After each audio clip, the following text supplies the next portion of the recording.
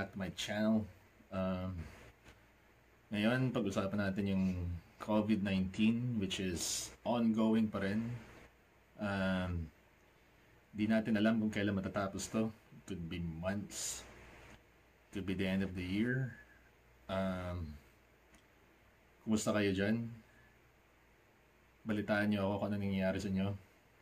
Mag-comment lang kayo and we'll figure this out. So far, joint mode tayo ngayon. Uh, medyo papahingaan muna natin yung lungs kasi what I heard is kailangan mo yung lungs mo para labanan yung virus. So, fuck, kung fucked up yung lungs mo, let's say may respiratory issues ka, then chances are baka, you know, madedo ka or siguro ma-survive mo pero sobrang marami kang pagdadaanan eh. Like, sa self-isolation ka, na sa may ventilator na kakabit sa'yo. So, ayaw mong mangyari sa'yo, right? So anyway, pag-usapan natin yung agenda. Like, ano ba yung napapansin nyo ngayon? Na quarantine tayo lahat. On a lockdown. And, um, teka, namatay yung ano, yung joint.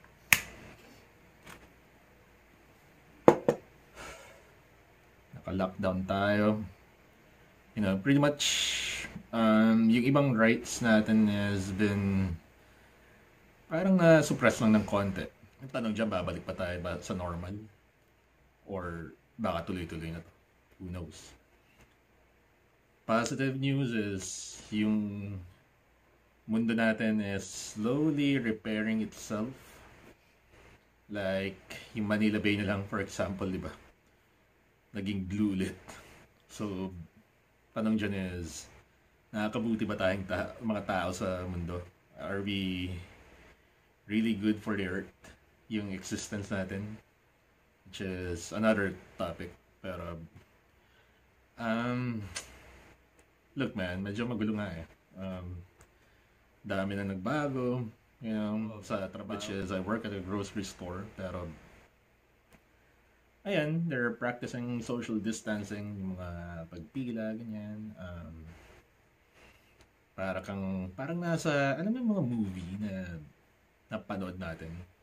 Most likely, parang, you know, they're like preparing us sa mga, you know, things to come.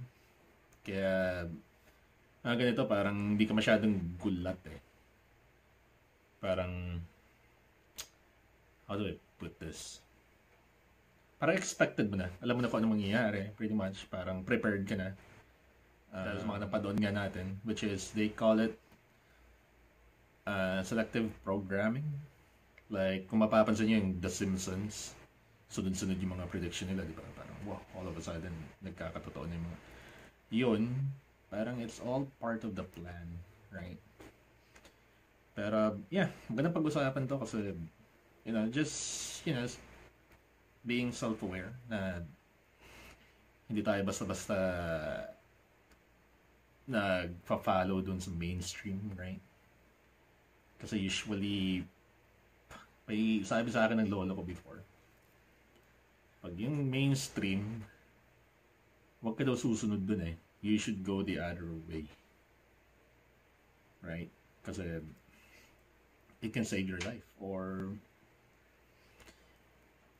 you know, or it's the other way around, baka magpahama ka. Pero, ganun talaga eh. Pag, you know, we're like sheeps. So, sumusunod lang naman tayo. Pero, sometimes you have to question this thing, especially pag affected yung rights mo. Right? Like, uhulihin ka lang basta-basta without even going to trial or especially dyan sa Pilipinas, bakit kailangan ni Duterte ng emergency powers? Why? Ano bang mapapala niya? Kayo ba maki Duterte ba kayo? Or ako dati, fan ako ni Duterte. Eventually parang ano mo yun, sunod-sunod yung mga kapalpakan, yung mga corruption, yung mga yung mga funds niya, intelligence funds niya, wala namang kwenta ang dami-dami nun. Aanin niya ba yun? Tapos all of a sudden, may, baba, may maririnig ka news na nag, habang naka-lockdown yung Pilipinas, eh, gumagawa na pala ng infrastructure yung China. So, mas feeling. Dati naman infrastructure, infrastructure dinagdagan pa nila, di ba? So, magulo. Ano ba to si Duterte? Is he selling us out? Is he selling the country? O the country has already been sold? Ano ba yung agenda niya? Kaya kayo, huwag kayo basta-basta maniniwala sa mga taong yan. Eh. Yung iba dyan, parang sinasamba niya na parang Diyos. Parang, you know, He's not a God. May isa tayong Diyos eh. Right? Ngayon kung ano mga kalokohan niya, ngayon kumakain na naman siya ng bangus sa uh, paawa effect niya sa Malacanang na Pucha, wala nga siya magawa eh. Ngayon, natatabunan siya nung, sino ba yun? Si Vico Soto. So speaking about him, this guy's really good. Um, you know, na gumawa siya may paabot yung mga you know, the things that are needed dun sa field para dun sa mga frontliners. He was able to pull it off. Walang backup from the government. Uh, tapos ngayon babatikusin pa siya for doing the what's right and fair. So, I don't know man, magulo. Hopefully sila ni Robredo eh, at, at least she's doing something, you know. Um, kapag you know, she was able to make 36 million for funding. So, good job, Lenny. Uh, what else? So, anyway, paubos na yung joint ko. Lagi nang mamatay eh.